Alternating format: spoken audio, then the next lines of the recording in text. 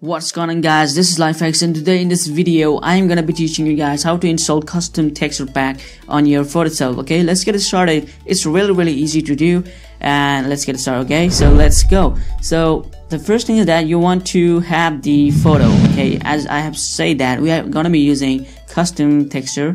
So you guys can google it for yourself. I'm using this one as a texture pack. So you guys can just click on view image and go here and then you want to save it just right click and save the images as over here and just save that image okay? So I have already saved as you guys can see that so let's import that on Photoshop first. So to do that just go ahead and click in file and click in open. And now you want to open this. Just click in open. And now you guys can see that your texture has been loaded. Now what you need to do is you want to click on the edit. And then you want to define the pattern okay? And you just click on define. Now just go ahead and click on edit and click on define pattern. And press on ok and after that you want to go ahead on your main project over here and you want to add some new text okay? And you want to place place the text over here or cursor over here and type something that like your text alright so let's make me let's make this as the black and press ok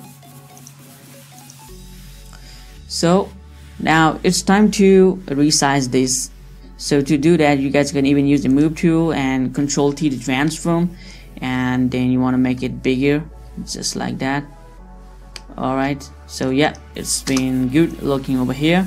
So let's now so let's give the texture for this text okay so let's get started right now. So to bring the texture pack over here you just need to right click on the text and also you just need to right click on the text and also make sure your layer 0 is on below above the text okay?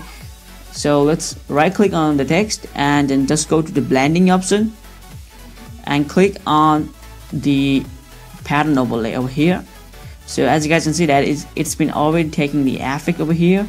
So just go to this pattern overlay and you want to click on this arrow button down.